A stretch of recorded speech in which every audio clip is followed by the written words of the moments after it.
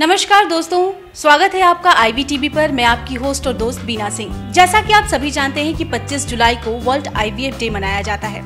ऐसे में इस विशेष दिन पर बात करने के लिए हमारे साथ हैं Seeds of Innocence Patna centre की आईवीएफ और fertility specialist doctor Vandana Mishra. सबसे पहले तो स्वागत है मैम आपका हमारे चैनल पर और हार्दिक शुभकामनाएँ आईवीएफ वर्ल्ड डे पर। Thank you so much ma'am, ये बताइए कि आईवीएफ है क्या? क्योंकि आज इस जमाने में जीते हुए भी कई सारे कंफ्यूजन लोगों के दिमाग में है कि आईवीएफ क्या होता है। तो आईवीएफ का मतलब होता है इन विट्रो फर्टिलाइजेशन तो अगर शरीर में किसी भी कारणवश भ्रूण नहीं बन पा रहा है या प्रेगनेंसी नहीं हो पा रही है तो हम लोग एक कंट्रोल्ड मैनर में लैबोरेटरी के अंदर में भ्रूण को बनाते हैं और उसी बने हुए भ्रूण को यूट्रस के अंदर डाला जाता है. तो ये एक तरह से कंट्रोल्ड इन्वायरमेंट में होता है और किन लोगों की इसकी ज़रूरत पड़ती है? मान लीजिए कि किसी महिला के दोनों ट्यूब्स ब्लॉक्ड हैं या ख़राब हैं या अगर सही समय पे अंडे नहीं बन पाते हैं या नहीं फूट पाते हैं, या पुरुषों में कोई प्रॉब्लम है, शुक्राणु कमज़ोर है या नील शुक्राणु है, या हमें वो शुक्राणु सर्जरी के द्वारा मिले हैं तो ऐसे लोगों में भ्रूण अपने आप शरीर में नहीं बन पाता है और उसे हम लैब में बना के फिर भ्रूण को यूट्रस के अंदर या गर्भ के अंदर डालते हैं। इस पद्धति को इन विट्रो फर्टिलाइजेशन कहा जाता है। चूँकि वर्ल्ड आईवीएफ डे है तो सबसे पहले ये जानना ज़रूरी है, दर्शकों को ये बताना ज़रूरी है कि वर्ल्ड आईवीएफ डे क्यों मनाया जाता है और इसकी शुरुआत कब से हुई है, इस दिवस को मनाने की? जी तो वर्ल्ड आईवीएफ डे 25 जुलाई को मनाया जाता है, क्योंकि इसी दिन विश्व का सबसे पहला जो आईवीएफ बेबी था, जो थी लुई ब्राउन, उनका जन्म हुआ था। और ये उनका जन्म जुलाई में हुआ था और इंडिया के फ़र्स्ट आईवीएफ बेबी का जन्म भी 1978 में ही हुआ था, वो अक्टूबर में हुआ था और उनका नाम है दुर्गा। तो इसको ही ऑनर करते हुए 25 जुलाई को वर्ल्ड आईवीएफ डे के रूप में मनाया जाता है पूरे विश्व में।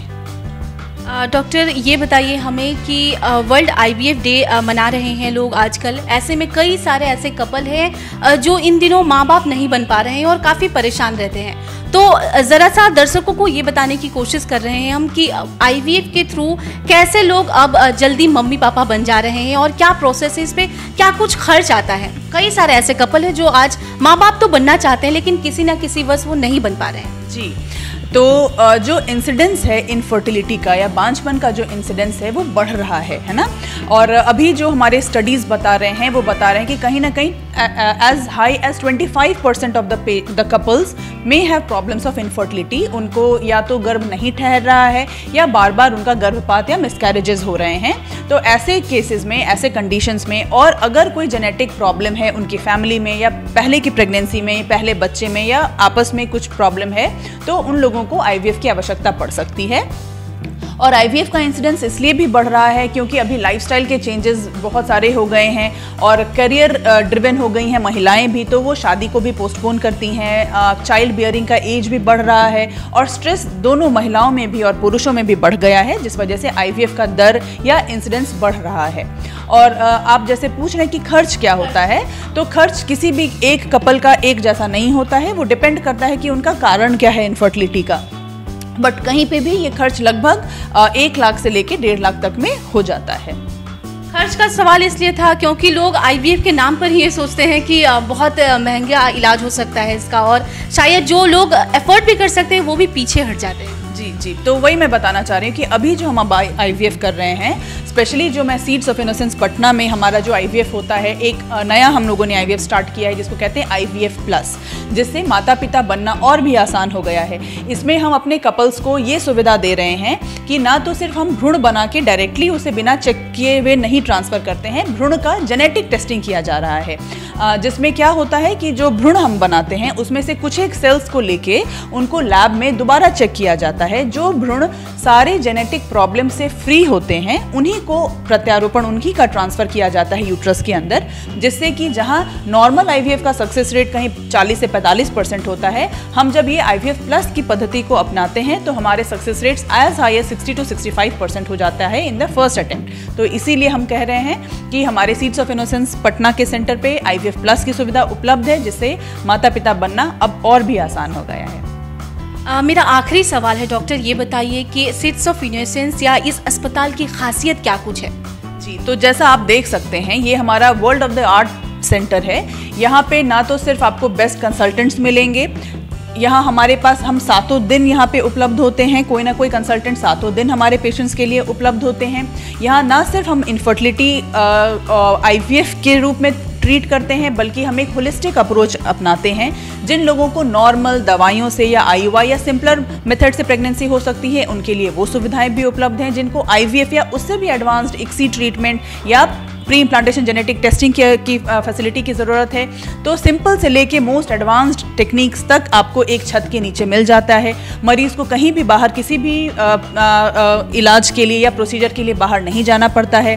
हमारे ही सेंटर पे यहाँ हिस्ट्रोस्कोपी लैप्रोस्कोपी मायोमेक्टमी ये सारी सुविधाएँ उपलब्ध हैं। यहाँ तक कि जेनेटिक टेस्टिंग जैसा मैंने आपको बताया उसकी सुविधा भी इन हाउस ही यहाँ पे उपलब्ध होती है। जाते जाते और एक सवाल लेना चाहेंगे आपसे।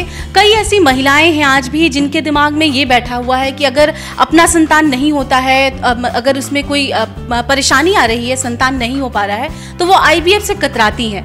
कई समाज की माँ कपल ऐसे हैं माँ पिता तो बनना चाहते हैं, लेकिन आईवीएफ के नाम पर या फिर सामाजिक दबाव कह सकते हैं, इसके कारण इस प्रोसेस में आगे नहीं आते। उनके लिए आप क्या संदेश देना चाहेंगे? जी, मैं यही कहूँगी कि ये इसमें झिझक बहुत ज़्यादा होता है, संकोच बहुत ज़्यादा होता है। तो इसमें संकोच करने की ज़रूरत नहीं है और ना ही कुछ शर्म करने की ज़रूरत है। अगर आपके शरीर में कोई भी अंग में प्रॉब्लम होता है तो आप उसके रेस्पेक्टिव डॉक्टर के पास जाते हो। इसी तरह से यदि संतान रखने होने में प्रॉब्लम है तो आप एक गायनाकोलॉजिस्ट या इन्फर्टिलिटी स्पेशलिस्ट के पास आओगे। और अब जो आईवीएफ हमारे यहाँ हो रहा है वो बहुत ही ज़्यादा सेफ़ है। इंजेक्शन्स बहुत ही ज़्यादा सेफ़ और D N A recombinant technique से बने हुए इंजेक्शन्स होते हैं। तो ना ही ये पद्धति अब आपके लिए अनअवेलेबल या डिफ़िकल्ट टू सीख है बहुत ही आसानी से आपको मिल, मिल जाता है। दूसरा है कि ये बहुत ही सेफ़ भी होता है और इसका सक्सेस रेट भी अब पहले के मुताबिक काफ़ी हाई हो गया है। तो संकोच करने या डरने और घबराने की बिल्कुल भी ज़रूरत नहीं है। अपने संकोच होकर हमारे पास आइए अगर आपको इसकी ज़रूरत है और आपको ज़रूर सफलता मिलेगी। तो हमारे साथ इस वक्त थी डॉक्टर वंदना मिश्रा जिनसे हमने आईवीएफ के बारे में तमाम जानकारियाँ हासिल की दर्शकों को बताया कि आईवीएफ है क्या वर्ल्ड आईवीएफ डे क्यों मनाया जाता है। डॉक्टर आपका बहुत बहुत धन्यवाद हमसे जुड़ने के लिए और इतनी अच्छी जानकारी शेयर थैंक यू आपका भी धन्यवाद। तो अब आपके होस्ट और दोस्त किसी अगले सीरीज़ में आपके साथ मिलेंगी। कुछ ऐसी ही जानकारियों के साथ तब तक हमें और हमारी टीम को दीजिए इजाज़त। नमस्कार। आई वी टीवी देखता है इंडिया।